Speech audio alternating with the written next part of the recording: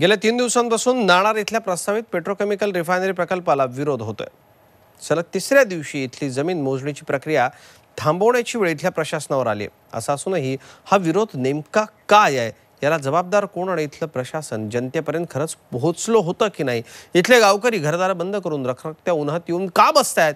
नाणारच्या refinery प्रकल्पाविरोधात इथली जनता का इतकी पेटली आहे? एक विशेष रिपोर्ट पाहूयात.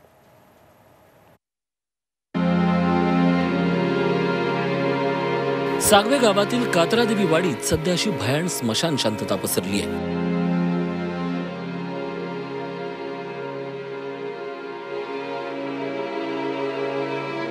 गावात दिवसा फक्त कुत्री गुरं आणि कोंबड्यांचा वावर दिसतो.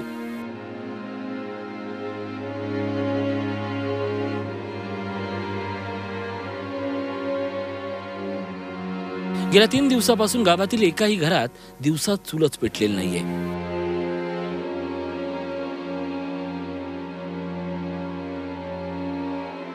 कारण तीन दिवसांपासून इथले गावकरी प्रस्तावित रिफायनरी प्रकल्पाला विरोध दर्शवण्यासाठी जिल्हा प्रशासनाच्या मागे धावत आहेत गेल्या तीन दिवसांपासून रखरखत्या उन्हात इथले गावकरी या माळरानावर प्रकल्पाला विरोध दर्शवायला येत आहेत याच गावातील सुनंदा टुकरुल गेल्या तीन दिवसांपासून इथल्या पायवाटा तुडवत या आंदोलनात सहभागी झाल्यात. ना सकाळचा नाश्ता ना दुपारचं जेवण. अशाच या रखरखत्या उन्हात येऊन बसायचं आणि प्रशासन आपल्या जागेत जमीन मोजणीसाठी आलं की त्याला विरोध दर्शवायचा. हाच गेल्या तीन दिवसांचा त्यांचा दिनक्रम आहे.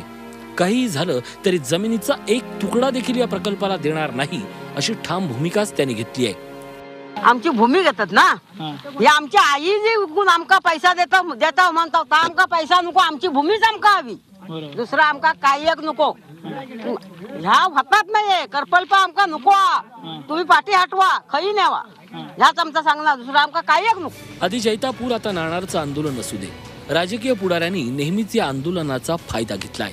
आम्ही जनतेसोबत असल्याचा दावा इथले पुढारी जरी करत असले तरी ही मोजणी प्रशासनाला सांगून का थांबवू शकत नाहीत असा सवाल सध्या प्रकल्प विरोधी संघर्ष समिती विचारते आहे आरोप करतोय येथील स्थानिक आमदार राजन साळवी यांच्यावरती.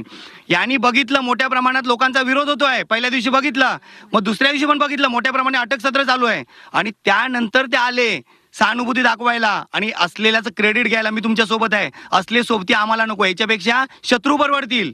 यांची जे बोलायचे दात वेगळे आहेत आणि खायचे दात वेगळे आहेत हे सगळे आता जनतेला कळलेलं आहे. पुढच्या येणाऱ्या निवडणुकीमध्ये हीच जनता ह्यांना नाही जर तोंडावर आपटेल तर तुम्ही बघा. जैतापूरचं आंदोलन आधी जसं पेटलं तसंच आंदोलन सध्या नाणारचं पेटतंय मात्र याला जबाबदार कोण हे देखील शोधणं गरजेचं आहे. कारण गेल्या तीन दिवसात मोजणी स्थानिक ग्रामस्थ बंद पाडत असून देखील प्रशासन मात्र आपलं आडमुठेपणाचं धोरण सोडत नाहीये. ही वेळ नेमकी जनतेवर रस्त्यावर उतरण्याची का आली? याची कारणं देखील इथल्या प्रशासनानं शोधणं गरजेचं आहे. कारण गेल्या अनेक दिवसांपासून इथं प्रकल्प येणार म्हणून वृत्तपत्रांमध्ये जाहिराती देण्यात आल्या. ही अधिसूचना निघाल्यानंतर इथल्या लोकांशी जर संपर्क साधला असता या प्रकल्पाचं महत्त्व जर पटवून दिलं असतं तर कदाचित या जनतेला आज आक्रोश करण्याची वेळ आली नसती.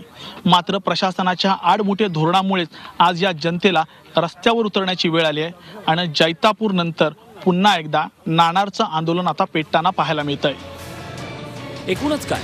रिफायनरी प्रकल्पाविरोधात संघर्ष पेटतोय. जी जैतापूर प्रकल्पाच्या बाबतीत झालं तीच परिस्थिती सध्या नाणारच्या रिफायनरी प्रकल्पाची होताना दिसते.